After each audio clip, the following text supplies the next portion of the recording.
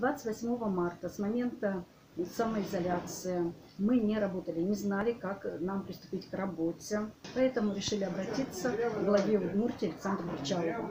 Он посоветовал нам обратиться в Корпорацию развития Удмуртии. Позвонив туда, мы получили четкие, грамотные рекомендации.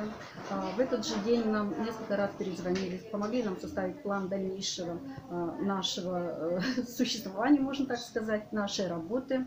А, Мы следуем этому плану. В городе нас любят, не только в городе, в Воткинском районе, Шарканском районе, Пермском крае. Спасибо, Александр Бричалов, вам и вашему аппарату э, корпорации развития Удмуртия. Спасибо.